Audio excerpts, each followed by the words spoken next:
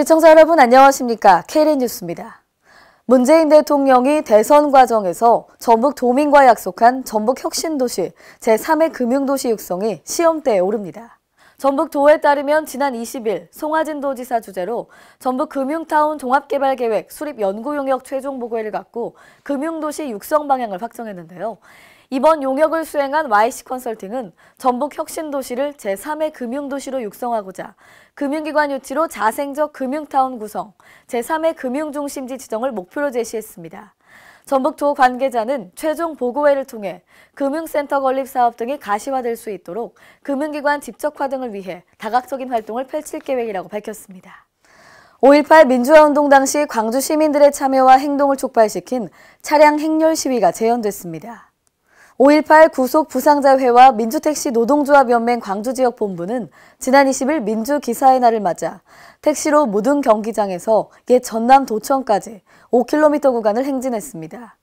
행진에 참여한 100여 대의 택시들은 차량에 태극기를 내걸고 전조등과 비상등을 켠 채 38년 전 5월 광주 도심의 모습을 재현했습니다. 5.18 차량 시위 재현 행사는 5.18 민주화 운동이 국가 기념일로 제정된 1997년부터 22년째 이어져 오고 있습니다.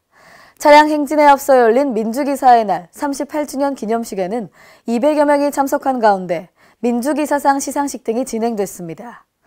5.18 기념재단 관계자는 38년 전 오늘은 민주기사 동지들이 목숨을 걸고 차량 시위를 감행함으로써 5.18 민주항쟁의 분기점을 만든 역사적인 날이라고 밝혔습니다.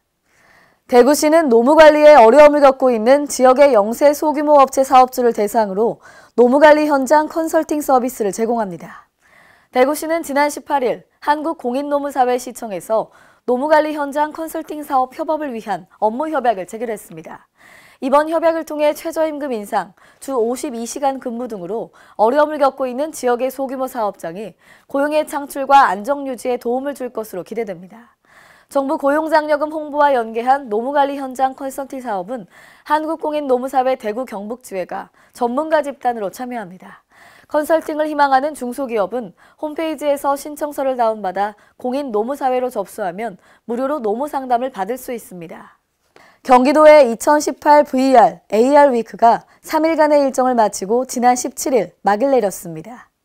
경기문화창조허브에서 열린 이번 행사에는 300여 명의 참관객이 방문했으며 VR, AR 창조 오디션을 통해 35개 팀이 새롭게 지원 대상에 선발됐습니다.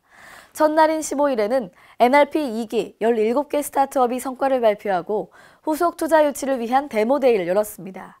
이날 이동형 VR 체험 서비스를 제공하는 루소 팩토리 등 아이디어 기획 부분 8개 팀 등 총 17개 팀이 성과 발표를 진행했습니다.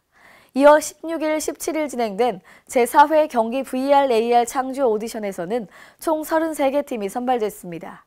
한편 광교 경기문화창조허브는 VR AR 산업 육성을 위한 스타트업 입주 공간 및 test bed 등을 제공하는 특화 공간입니다. 관심 있는 누구나 방문해 VR AR 콘텐츠를 체험해 볼 수 있습니다.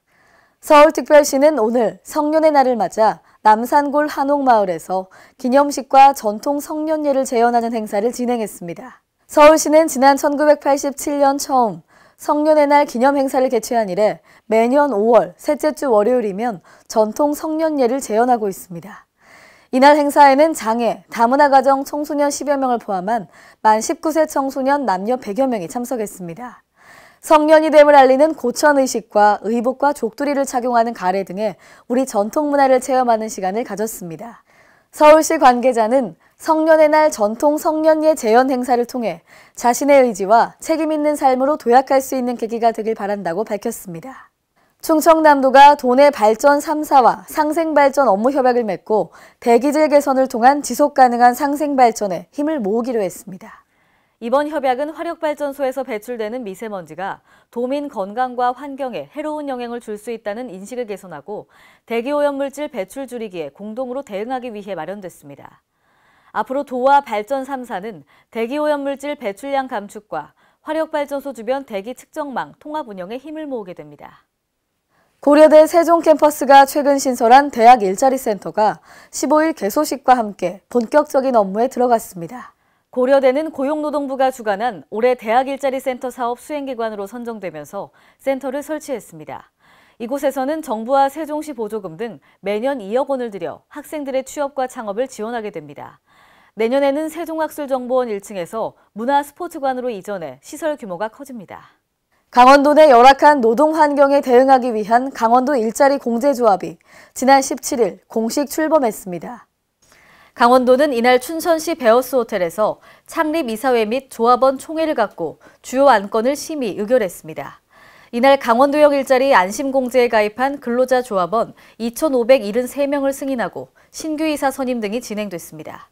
공제조합은 낮은 임금으로 인해 잦은 이직과 핵심 인력 유출에 따른 경영 악화 등을 해소하기 위해 노사민정이 힘을 모아 만들었습니다. 전라북도가 금융 소외계층에게 채무 조정 및 재무 상담, 복지 서비스 연계 등 서민금융 복지 서비스 지원에 앞장섭니다. 전북도는 16일 송하진 전라북도지사 등이 참석한 가운데 전라북도 서민금융복지센터 개소식을 가졌습니다. 전라북도 서민금융복지센터는 전북 신용보증재단과 위수탁 협약을 통해 오는 2020년까지 3년간 운영됩니다.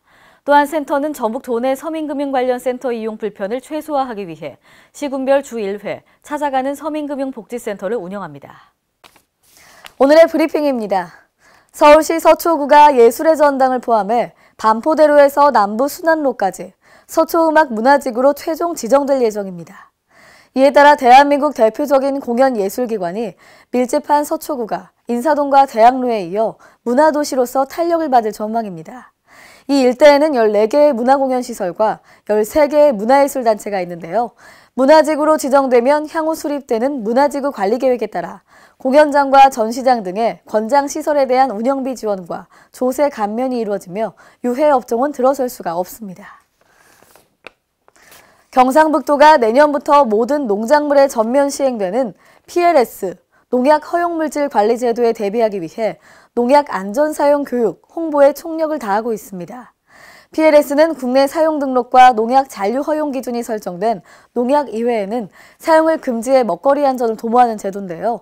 등록 농약 외 설정된 기준이 없는 성분은 일괄적으로 0.01ppm 검출 기준을 설정해 농약 오남용을 방지하겠다는 겁니다.